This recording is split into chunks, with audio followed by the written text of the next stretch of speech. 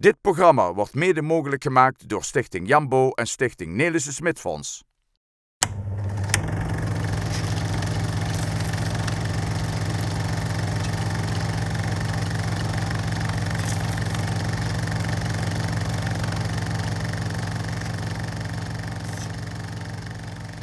In deze tweede aflevering van Venray van Toen over de psychiatrische inrichting Sint Anna gaan we terug naar begin jaren 50. In deze periode is de Vlaamse kermis niet meer weg te denken. Er worden revues en reunies georganiseerd. Het Roomse leven staat in volle bloei en menig jubilaris wordt gehuldigd. Kijkt u mee naar mooie beelden van begin jaren 50.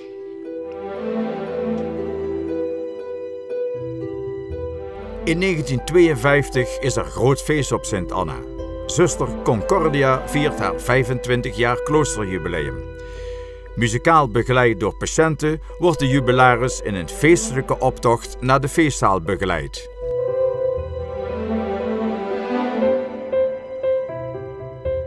Na een korte serenade begint er een gezellig feest.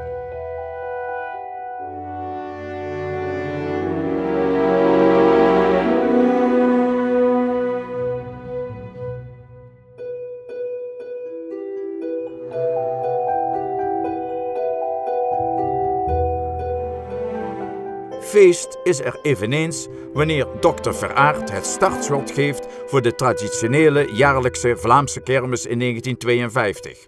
Iedereen van hoog tot laag is weer paraat.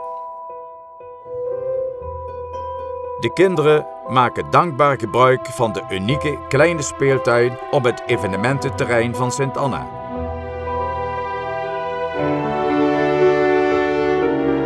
Zoals gebruikelijk is er weer voor elk wat wils.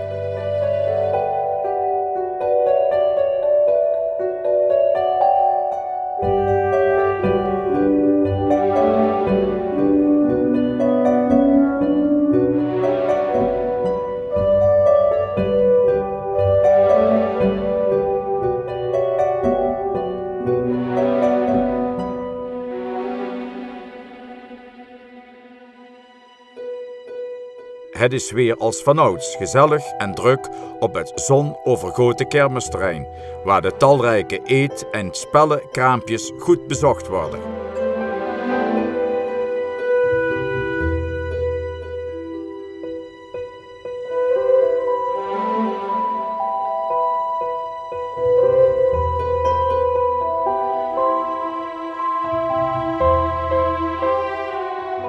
Datzelfde jaar wordt er weer een reunie georganiseerd vanwege het naamfeest van zuster Gaudentius.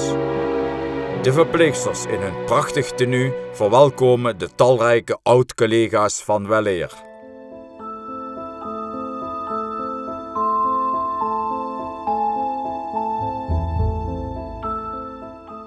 Zuster Gaudentius begroet persoonlijk zoveel mogelijk gasten.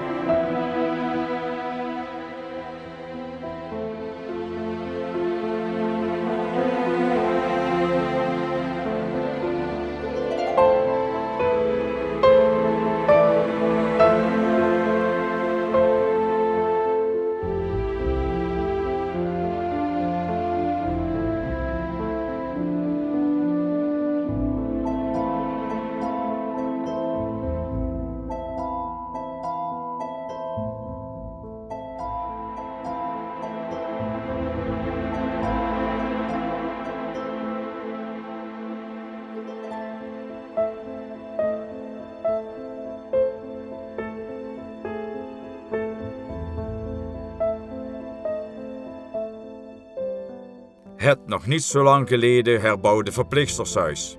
Hier worden die dag de nodige herinneringen uit vroegere jaren gedeeld. In 1953 is er weer de jaarlijkse sacramentsprocessie. Vanaf het hoofdgebouw maakt de stoet via de bestaande kiosk op het recreatieterrein een rondgang over het Sint-Anna-terrein.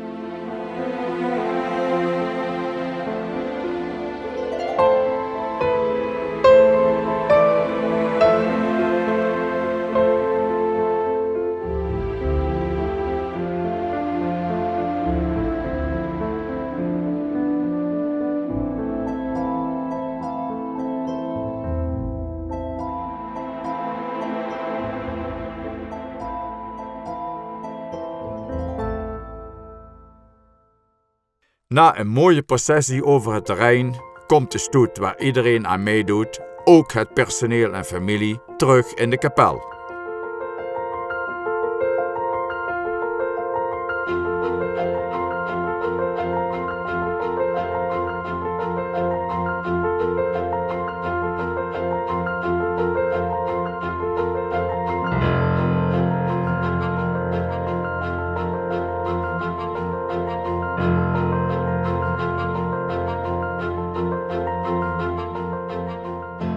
In de zomer van 1953 brengen de Zusters van Liefde uit het Belgische Leuven een kortstondig vriendschapsbezoek aan de inrichting van Venray.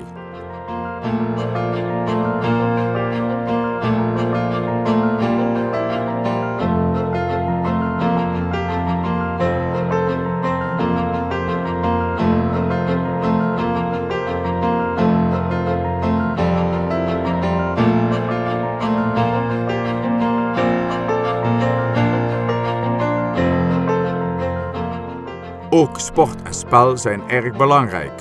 Onder grote belangstelling vindt er jaarlijks een onderlinge dames korfbalwedstrijd plaats op het recreatieterrein van de inrichting.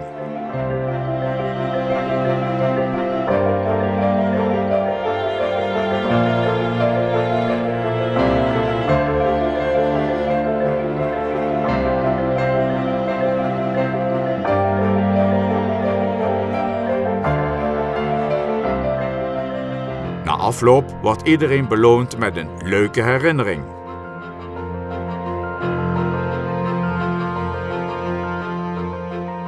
Triomfantelijk maakt het hele gezelschap nog een ereronde.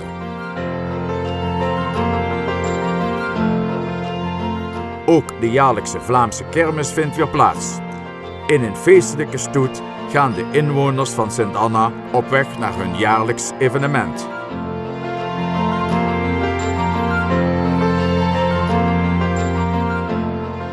Nu is het weer gezellig druk en is er genoeg te beleven en te winnen.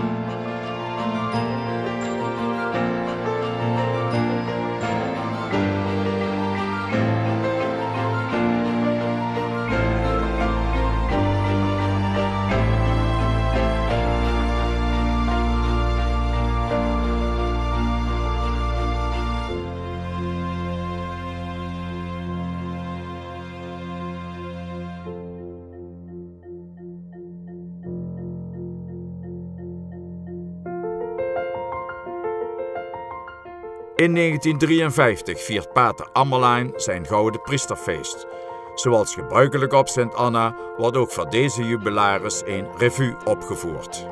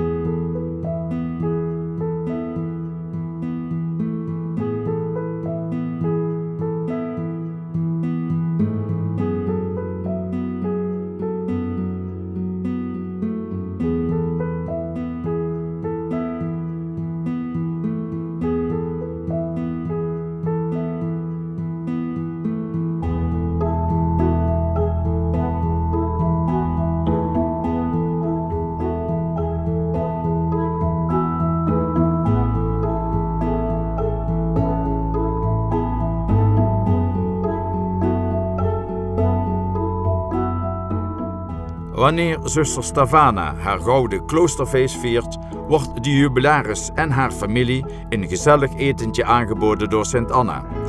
Bij de zusters is het altijd goed oefenen.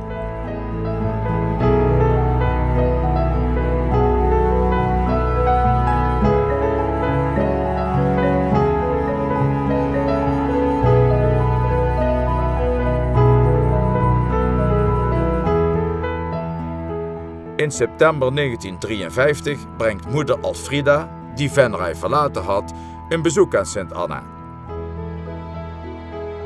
24 oktober 1953 is een droeve dag voor Sint Anna.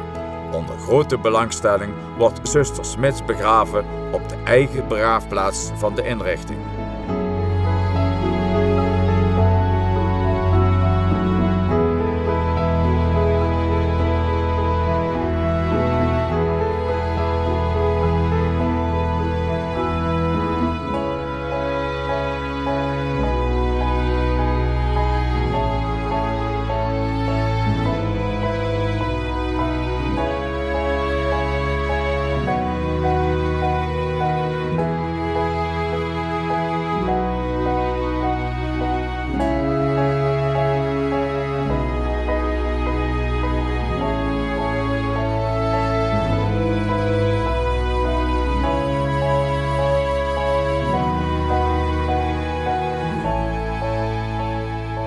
De zomer van 1954 wordt wederom het ziekentridium voorbereid.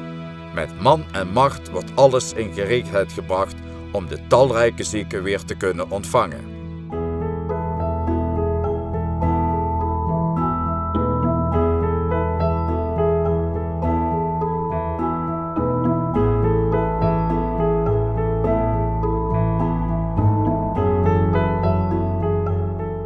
De eerste zieken zijn inmiddels gearriveerd of ze komen aan.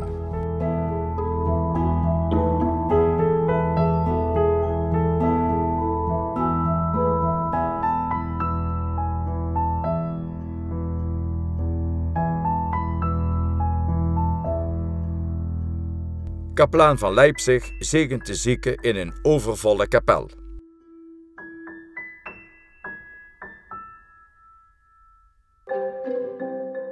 Ook de bisschop van Romont, Monseigneur Lemmes, arriveert op Sint Anna om zijn steentje bij te dragen.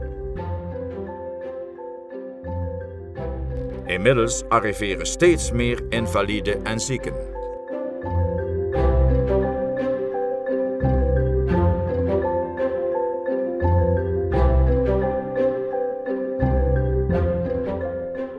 In de overvolle kapel compleet met bruidjes, bemoedigt en zegent ook Monsieur Lemmers alle aanwezigen.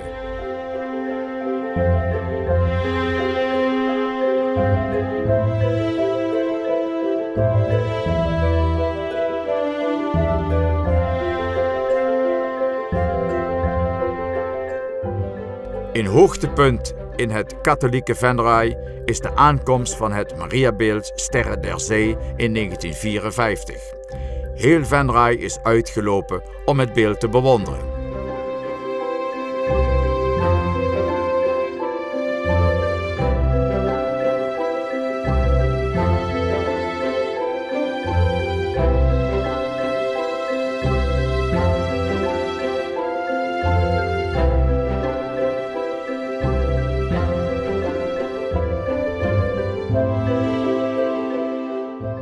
Via de versierde Sint Annelaan gaat het Mariabeeld naar het klooster van Sint Anna.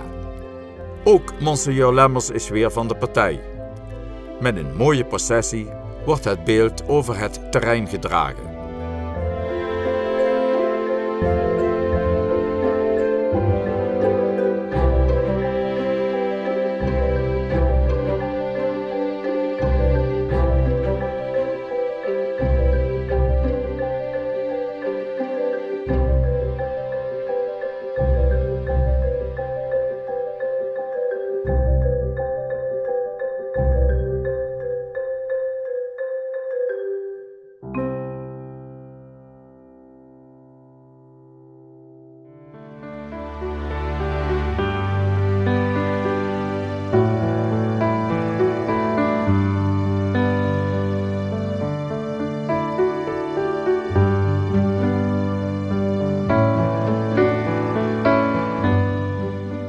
Na de indrukwekkende en mooie processie komt het hele gezelschap aan op het overvolle recreatieterrein.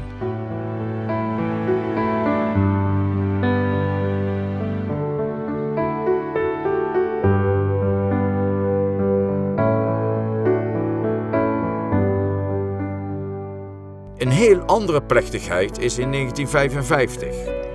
Wederom is Monseigneur Lemmes uitgenodigd om samen met Dekelone een nieuw altaar in de kapel van Sint Anna in te zegenen.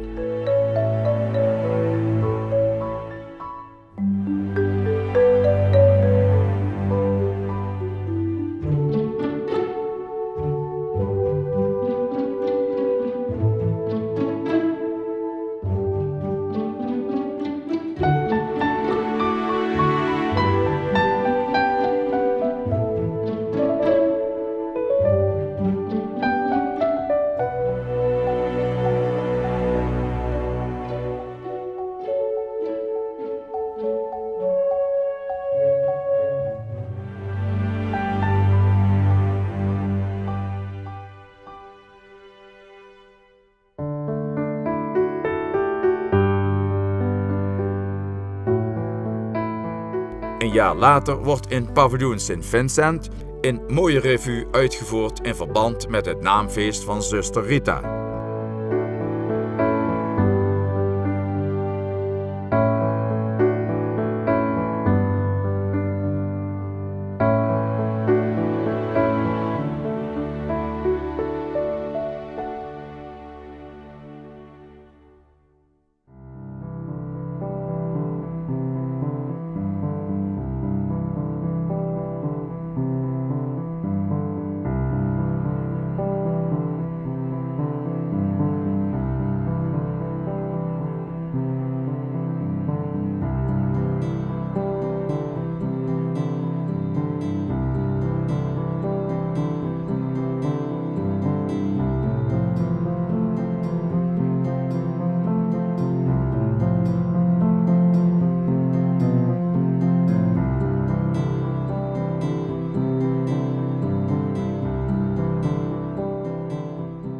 Een ander feest is het 25-jarig huwelijksfeest van directeur geneesheer Dr. Veraard en zijn vrouw.